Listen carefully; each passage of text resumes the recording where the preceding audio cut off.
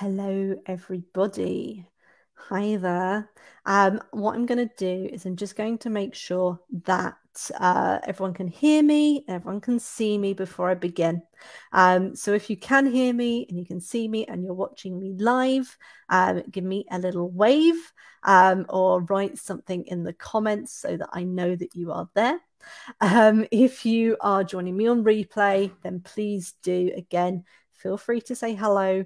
Um, and whilst we're waiting for, for people to find us, um, please do add into those comments when did you, for your child, if they're sitting their exams in 2022, when did you start your practice papers? Please let me know. Let me know when you started them because uh, it's going to help me a little bit as I go through today. Perfect. I can see that somebody uh, is hearing me um, and someone is is there. Um, hopefully, you can all hear me and you can see me. Um, as I said, I'm going to wait just a couple of minutes to make sure that uh, everyone knows I'm here. Um, and indeed, I know that there are some of you who have already messaged me to say that you will be watching that replay. Um, so, hello to you guys as well. Um, and I hope that everyone enjoys it, whether you're watching live or whether you are watching um, on the replay. But do feel free to please get involved. Um, let me know in the comments um, all about your practice papers. I'll be asking some questions um, in tonight's live, um, looking at things like where you are when you are um, looking at uh, practice papers, what might be happening, um, and so uh, so yes, that should all be good. What I'm going to very quickly do, because I know that there is uh, there that uh, we're live in the group, but we don't appear to be live in the event. Um, so I'm just going to add the link so that people can see, uh, hopefully, and uh, can find us. So let me just make sure that it's all there, and then we'll be good to go. So it should just be about one minute, guys, just whilst I sort that all out, and then uh, and then we should be good. All right, so let me just. Technology is a wonderful thing. let me just see if I can add the link to where we are into the group so that nobody nobody gets left behind and everyone can find us.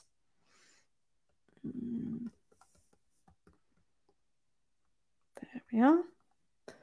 Okie dokes. All right. So as I said, I will be starting in one minute. Um, if you are waiting for me to start, please do let me know. When did you start practice papers? Have you not started them yet? Are you looking online and seeing everybody say that they're started, but they're not quite sure? Um, so do let me know um, and uh, and let me know kind of where you are in your preparation process. Um, perfect. So we should be good to begin. All right. So hopefully, uh, if you're watching this, as I said on replay, uh, you have uh, you are able to to see me and to hear me. All right. Um, perfect. So a little bit of, I suppose, an introduction. Um, about me, um, I I've worked as a private tutor for about ten years. I'm a qualified teacher, um, and now I run uh, the Education Hotel, which offers 11 plus tuition, which is part of the reason I'm here, and summer courses. Um, I also help students to find the right school uh, using an education consultancy. Um, I have been an admin here uh, on the 11 plus journey for a couple of years. And one of the big things that I really like doing is going live and talking to you guys through the screen um, and being able to give you some tips and tricks and, and see you know what you guys are feeling and hopefully add a little bit of value so uh, so that's me um, sometimes you can find me. I speak, um, I write for Families Magazine from occasion, um, in the Telegraph, Guardian, etc. So typically found around education. Um, but uh, I also produce the wow words, which come in the group. Um, so I suppose why why now? Why am I talking about papers now? And I, I can see someone saying, you know, I've not started papers yet, and that's perfectly fine. Um, what I want to make sure is that everyone starts at a different point, but kind of from February half term through Easter to now, typically students start to move to full papers. And lots and lots of people start to approach me and, and my team and they say we really want to focus on boosting our preparation and really really starting to uh, to really focus in on those exam papers and one of the reasons that, uh, that, that students start to go into papers is so that they can start to see how long a whole paper is. And it might be that uh, that your child is is finishing off some syllabus bits. It might be that they have been doing parts of papers, so maybe short uh, 10 minute tests or even 20 minute tests or part way papers. Um, but now you're thinking, maybe they need that exposure, that time to spend on a whole paper. But as I wanted to say, everybody is different.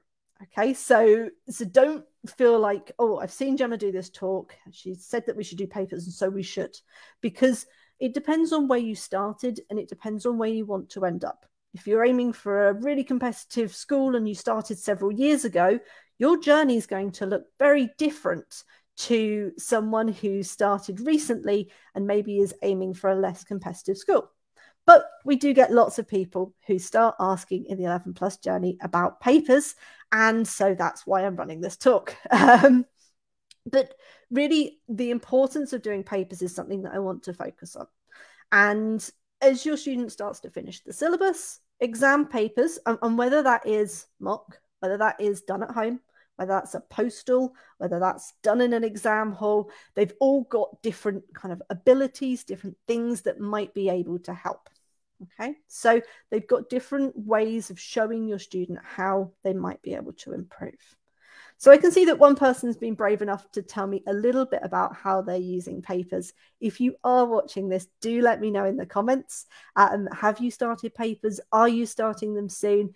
Have if you've started them how many of them have you done? Uh, do let me know and i can always respond. So um, there's four things that i really wanted to think about which was kind of how to use these papers. Practice papers past papers. I use the terms interchangeably. Um, first is to highlight the areas that we need to be focusing on in revision. The second is to highlight the exam technique and that's slightly different to the areas of revision um, third is really about highlighting what to do on the day. And fourth is about tracking your progress.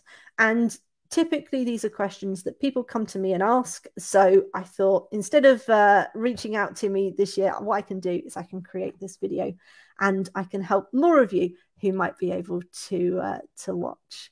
So the first thing is really when you are marking a practice paper, I want you not to just give it a mark.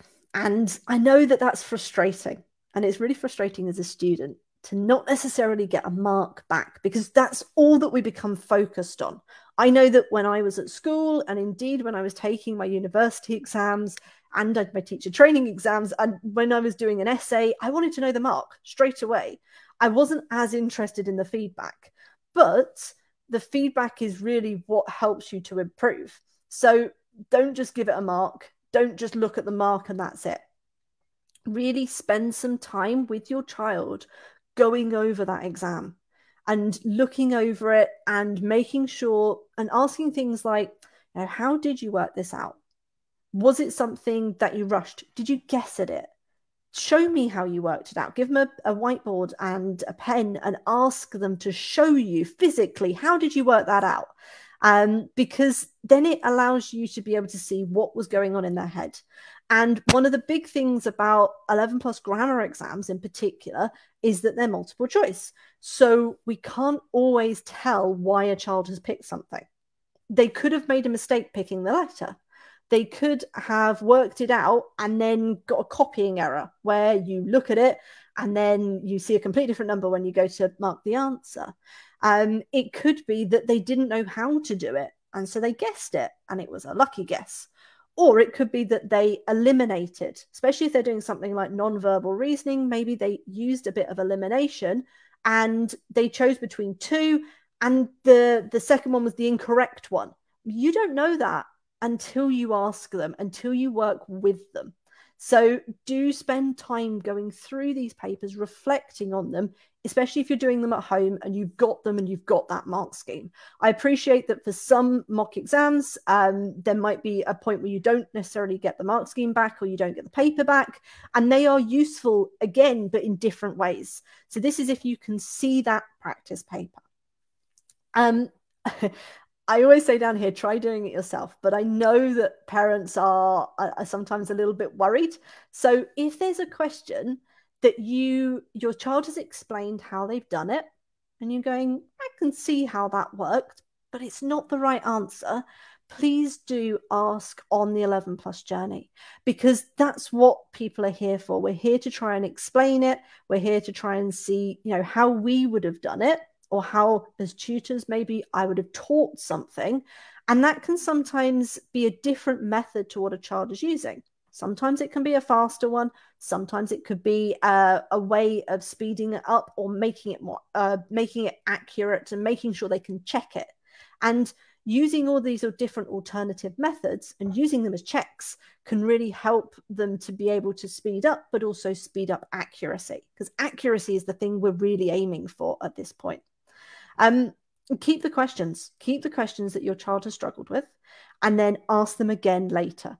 So um, take a, a, screenshot if it's online or a photo if you've got a paper version and save them all somewhere so that in August, hopefully when you rewatch this video, um, you're going, oh, what did Gemma say? She said something about to do in August. But you can bring all those questions back out and you can put them in front of your child and you hopefully if your child's worked on their technique they should be uh, they should be getting more of those correct.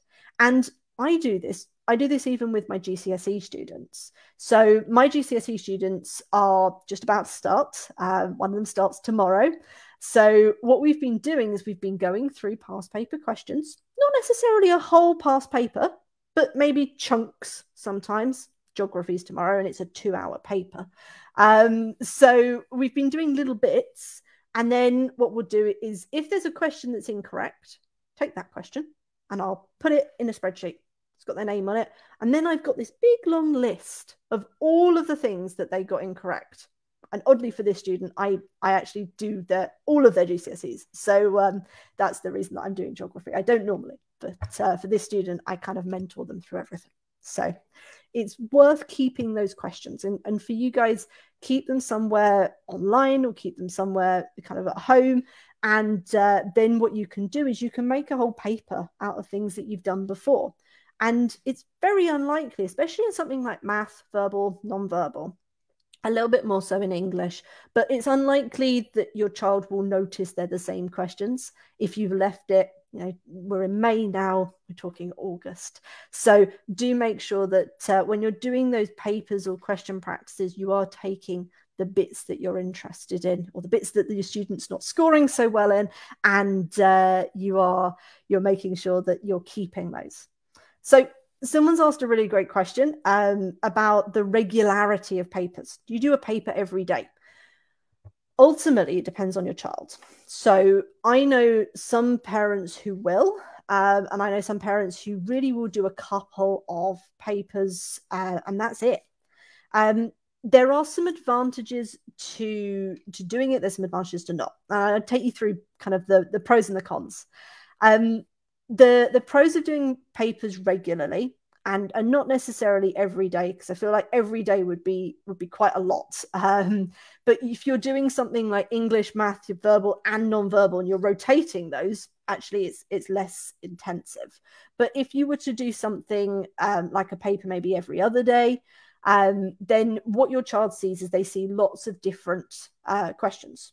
And that means that they therefore get the exposure to a lot of different questions the cons of that is that you probably aren't spending a lot of time going over those mistakes.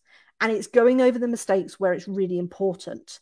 So what i would be doing would be using a paper to then direct that week's learning.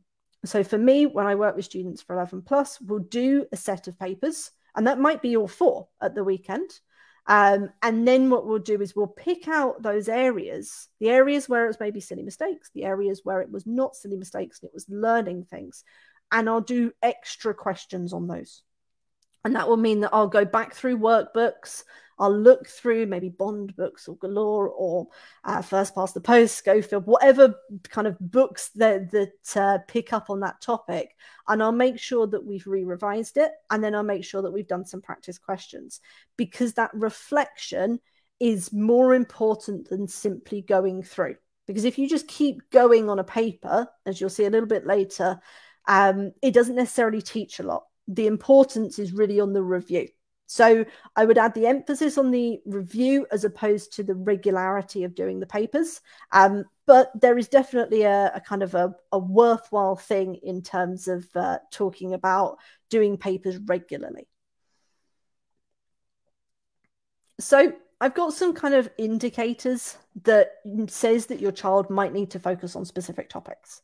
So the first thing is if you're missing large amounts of that test paper, you know, your child sat down, first test paper that they're doing, and they have a large amount of it missing, big, big chunks, you need to go back to the basics. Um, either your child's really panicked um, in which case you need to have a conversation with them. They need to get used to taking those papers. Or it says that your child is missing something and it's fairly large. So go back.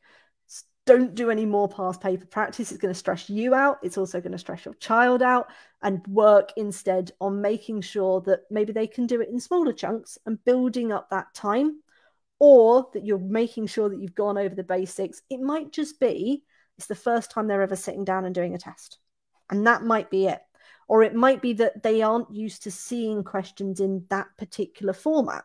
And that's why I like to use different past test providers or practice paper providers, because that allows students to be able to see different types of formats. And we know that the 11 plus changes, and sometimes it changes with less notice. So I like my students to be prepared. And I like them to feel like they can go into that exam and they can say, I've done all these different types of questions. So I don't need to worry if something comes up that's slightly different. So that's part of that confidence building for me. So if large amounts of that test is incorrect or missing, go back to the basics. If there's smaller little bits, this is where I was saying that reteach and rerun. So pick out those areas where a student has struggled, reteach them, teach it maybe in a slightly different way. Come on to the uh, 11 plus journey, ask us, you know, how would you tackle this question? See, is it different to the way that your child tackles it? If it is, go through a different or maybe an alternative method. Those alternative methods can sometimes really click. Maybe the first method didn't quite work for a student. This one, maybe it works. And so that is why it's worth going back, reteaching, run some mini tests, run some kind of five, 10 mark questions, short amounts, make sure they've got it. And that means that next time it comes up, they shouldn't make that same mistake again. Other things that you might want to do if you're looking at kind of smaller areas and they're continually getting those small areas wrong, but when they're doing the, the mini tests with you, they're getting them fine it might be that they need reminding just before the exam. So it might mean that they always forget that there's 60 minutes in an hour. And you find that they're continually over and over and over again assuming the 100 instead of 60 rule. That's something that can easily be put up onto a poster and they can design that poster and they can stick it on their wall. And it's something that, therefore, is helping them revise it in a different way. So sometimes it's not just question practice that's going to make it better. Sometimes it's really doing something different. So typically it's easier to see that on math, um, but the same thing happens with verbal, non-verbal. If they're really struggling with um, with cube questions, then it might mean that you need to teach cubes a different way. So if you were previously running through a set of rules um, and they're struggling to remember those rules, try it practically. If uh, they're they're struggling with understanding it practically try nets. So there's different ways of teaching so that they can they can work out kind of what works. And when they're thinking it's sitting there in the exam thinking about okay how do i do nets?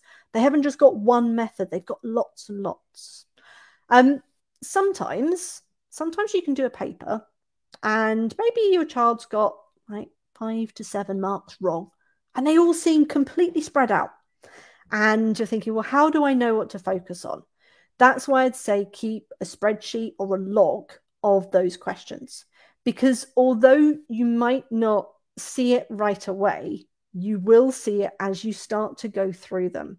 And we've got a checklist. I can I can add it into the comments. I've put down here to remind myself to do that. Um, where what I do is I'll go along and I'll, I'll tick it off. So I'll say, oh, the, this exam had a, this type of question and this type of question and this type of question. And my student did really well on this and they struggled on this. And the next time that type of question comes up, I'll do the same thing. And then you can start to see patterns. So with in, with math, it is typically you can mark it against a topic list. With English, again, there is a topic list. We've got a topic list for English, but you can further group those questions: word meaning, inference, quotes, uh, non-verbal reasoning, verbal reasoning. There are categories, so you can get kind of 26 different types of question, and you can see where is it that my child typically struggles. So those are some of the things that are worth looking at. This is a kind of typical question that I know people often come to me with. They say, Oh, but Gemma, my child's scoring really well. They're getting 80s, 90% on this publisher, but not on this publisher. So the moment they start this type of publisher, they go down. And, I go, Great. because that is that's that's kind of the joy of of having different publishers because it's about being able to use different types of question and often they will dip as they go on to a different publisher. And that might be because the questions are trickier and some of the publishers are trickier than others. Um, uh, but it also might be because they're seeing a different style of question. So typically when, when I work I work a lot with uh, competitive or super selective schools. Um, and I will use lots and lots of publishers because I want my children to, my children, my students, to see um, different types of questions. And that means they're not phased. They're not phased on the, the real thing. And typically I'll move them, as I said, from, from really short 10 minute tests to maybe 20 minutes. And sometimes if I can't find a 20 minute, I just put two 10 minutes together or I'll cut a real thing. I'll cut a real thing in three and then I'll give them those different bits and I'll see how they do on each one. So don't be afraid to to maybe change the style or change the the ordering. If you've got say you've got uh, a 45 minute amazing slot where your child can sit down really focused on a Saturday morning, but your papers are an hour and the papers that you've got they're they're an hour long. Don't be afraid to take a bit out. And you can always combine those and form a later paper.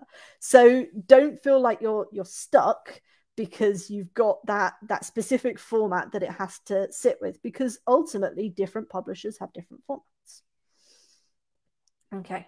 And then we've got things that happen with not finishing and things that happen with finishing quickly. So I know that some of you will be watching this going, oh, my child rushes through. But if your child is not finishing, there's probably a couple of reasons. Uh, lack of understanding, and we'll see that because a whole subsection has been missed or is incorrect. Um, lack of stamina. Typically, you see a really great work up until kind of like three quarters of the way, and then it just doesn't go so well.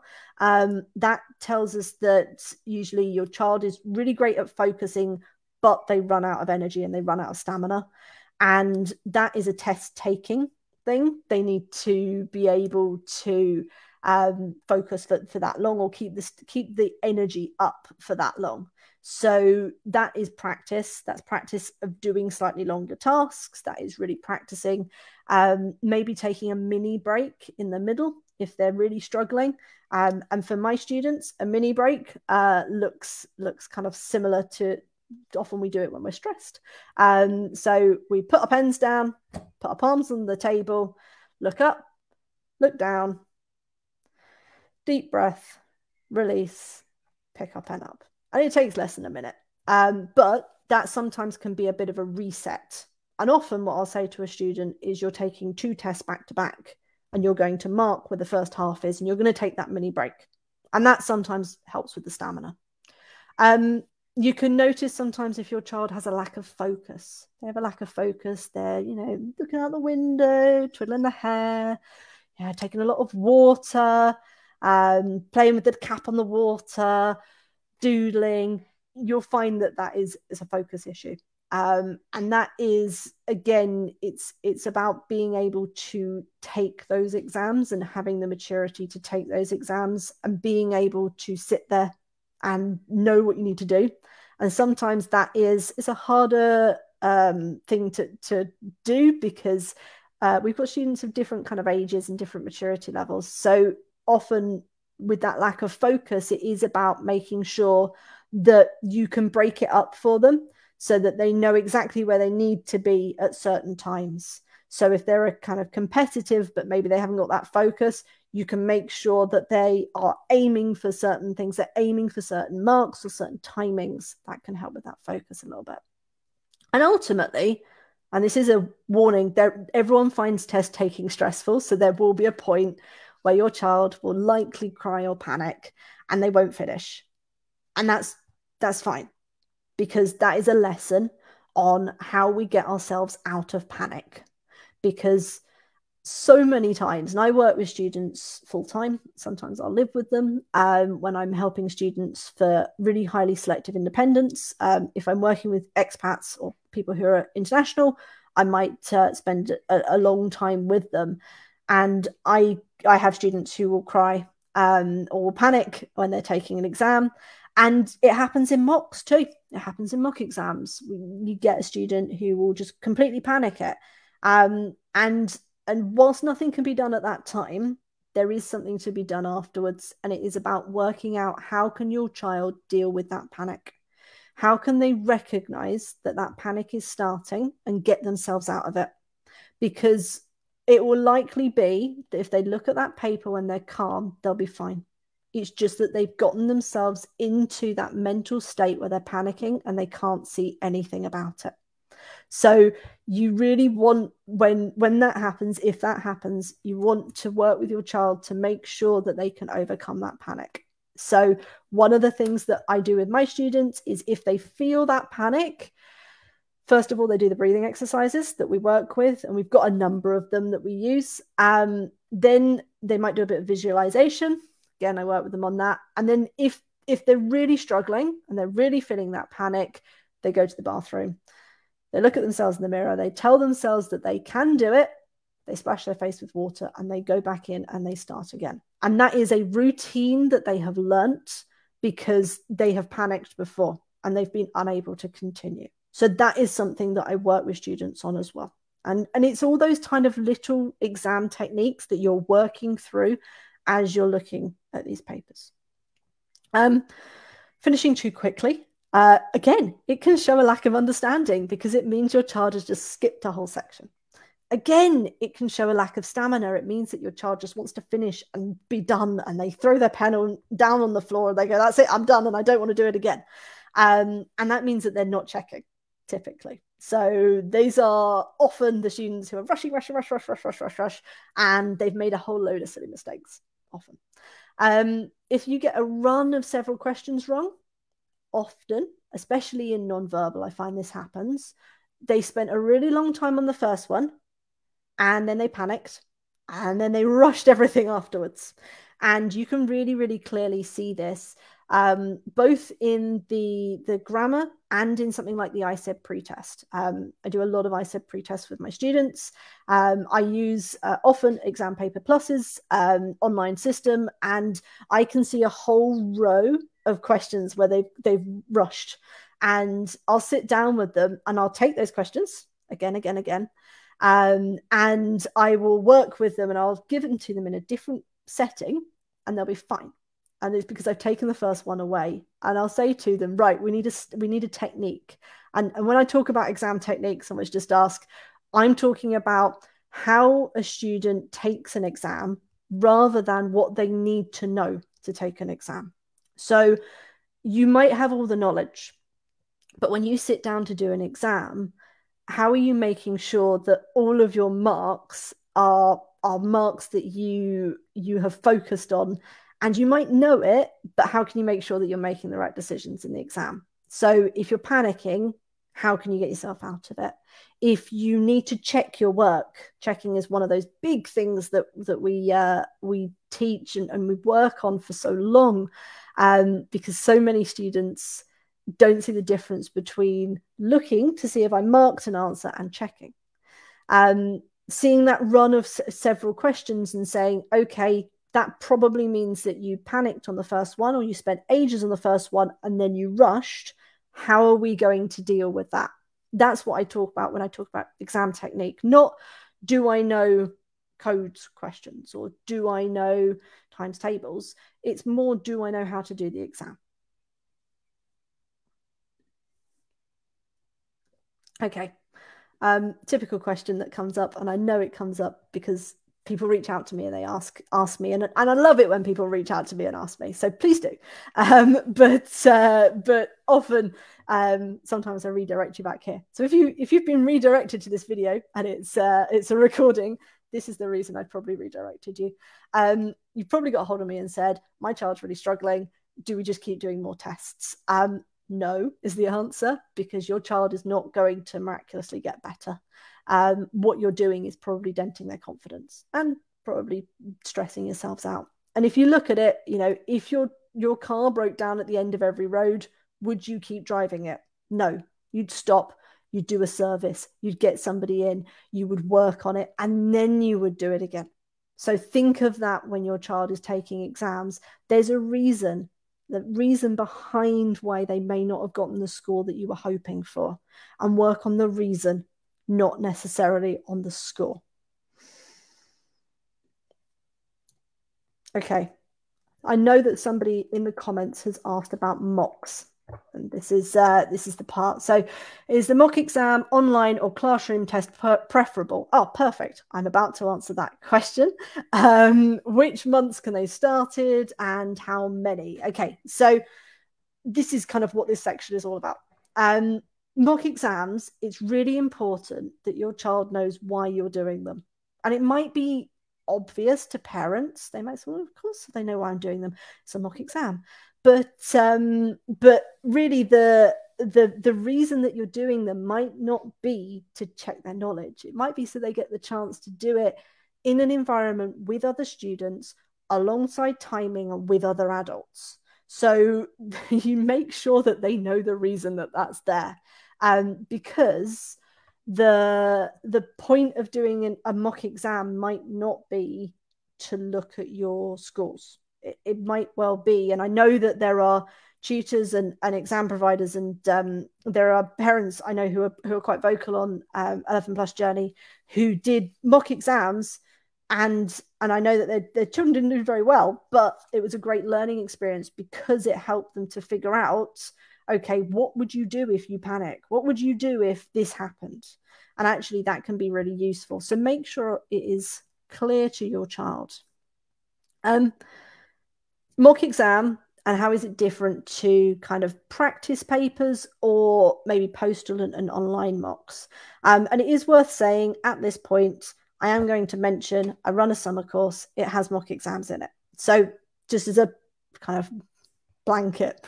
Um, so, face to face mocks. Face to face mocks can really help students to understand what taking that test is like. They're physically there. Uh, what, how does it feel when everyone else is taking the test and they're all rustling their papers and they're all going through it quicker than you, can you stay on task? Can you focus with all of that happening? Because actually, that in itself is a skill. That's a that's kind of a technique. So, you know, what do you do when these things happen can often be helped with a face-to-face mock. Because that face-to-face mock is about trying to simulate the conditions that your child will be in when it comes to that that day but that's not to say an online or a postal mock can't add value. And we've got online mock exams. And, and one of the things that we introduced this year for our more intensive summer courses is an online mock. And the reason that we did that was a mock exam or a practice paper can help us as tutors or parents to see are the students using the techniques that you've been teaching? You know, if you've designed that paper and you know what you've taught beforehand and you know that that is something where a student typically doesn't doesn't get it right can you see if they're using that technique it allows you to objectively mark and i know that i've been there when i've been marking a student's 11 plus paper and typically in english or a longer mark question um, not necessarily an, an A, B, C, D, and they've they've not quite met the mark scheme, but but maybe, and also in creative writing, it can be really hard to be objective when there's no other people to to mark them against. So that can be a real useful help. Um, ranking. Ultimately, whilst a lot of people ask us about scores, what score should my child be um, achieving? Ultimately, it's about their ranking. It's not about their. It's not necessarily about their score. Whilst their score will help on their ranking, um, the the best you can do is being at the top of the ranking. So doing it alongside other children and being marked alongside other children therefore allows you to see where is a child coming within that ranking. Also how closely packed are they in that ranking? So is it that uh, that your child came fifth but actually there was only two marks between them and the child who came first? And in which case that's an easy fix. So really looking at, at kind of how that child might perform um, can be done with an online or a postal um, mock as well so there are different reasons why you might choose to do certain mocks. And I know that some people choose to do many and some people choose to do few. Um, and ultimately, it, I would say think about the reason that you're doing them and make sure that that reason is really clear to your child. Because if they're doing lots and lots of mocks and they don't know why, and often they're just getting marks given back to them, it really doesn't help for confidence and it doesn't help for understanding because you feel like I'm just doing another one, another one, another one. Um, and and sometimes you I see children who go to many, many mocks and who every weekend is a mock exam. And and they say to me, they say, Oh, it doesn't matter. You know, this score doesn't matter because I've got another one the next weekend. And you want to to think about the message that you're sending to your child about doing those mock exams tracking progress, and I'm I'm almost done. Um, I think uh, I probably talked for longer than I should have. I get quite enthusiastic about these topics, so uh, I do do keep uh, keep talking. Um, one of the things I really like is using a traffic light system, and it really helps my students to be able to see where they're getting things right, where they might need to work through, and where is a little bit variable. And often it's the variable that my students really notice they know what they need to work on, they know what they're good at. But sometimes I'll say to them, Oh, this is an orange topic. Oh, no, no, no, it's not. I get everything right in it. And then I can prove to them, I can say, Oh, no, this one was wrong and this one was wrong. Why was that? Oh, I wasn't paying attention, or oh, I was doing this. And then we work on it. And we work mainly on the reds and the oranges, and we work on alternative ways to solve them, or ways to check them, or ways to make sure they're more accurate all of those kind of reteaching, revising stuff, and making sure that there is that revision of knowledge as opposed to just testing.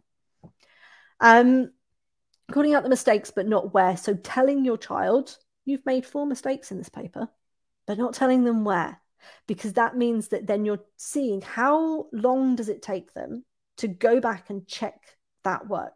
You're not giving them any guidance. You're not saying it's on question number 19 question number 20 you're just saying to them there are four mistakes. And see how long it takes them to recognize those mistakes. Do they recognize those mistakes? Because that helps us learn about checking. And checking is one of the most important things in terms of increasing percentage. When someone comes to me and they say i've got you know i've, I've, I've got a student who is doing maybe 65% what is the biggest thing that's going to get them higher? Is going to be checking is going to be that they are making probably lots of silly mistakes. They probably don't know some topics, but if they can start thoroughly checking and they know how to check, it is a skill, um, then then you can start to see those marks improve. And as I've said before, it's absolutely fine to rerun a paper or to take questions from a few papers. It's also a great way to boost your child's confidence.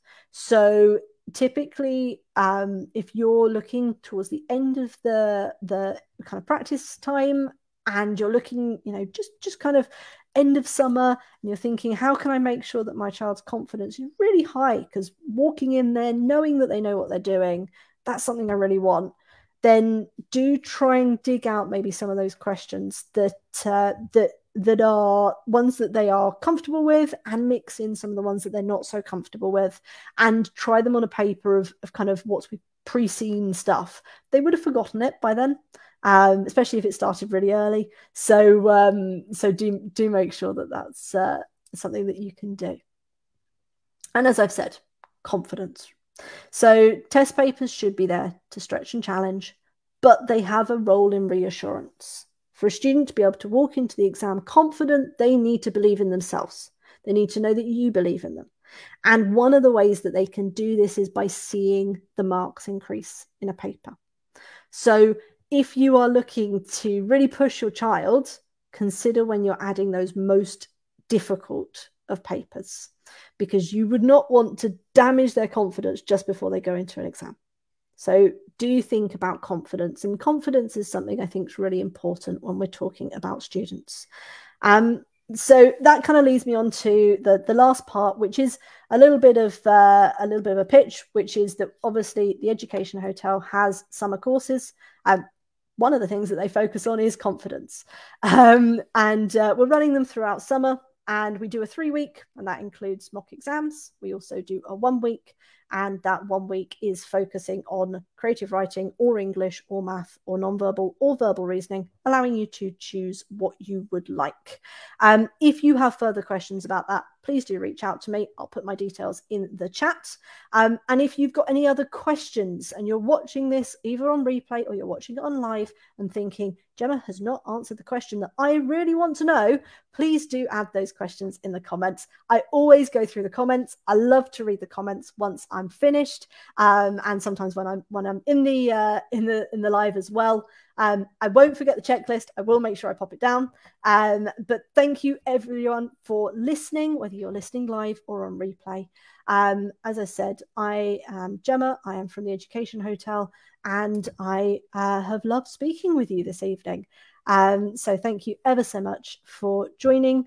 And uh, I think that's probably it from me this evening. Um, you've probably also had enough of my speaking, so you're probably ready to close the screen and uh, and let me go.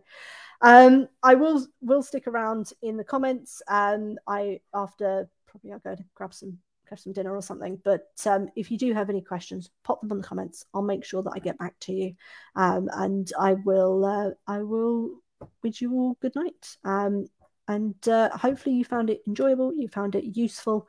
Um, thank you ever so much for attending. All right then. Bye bye.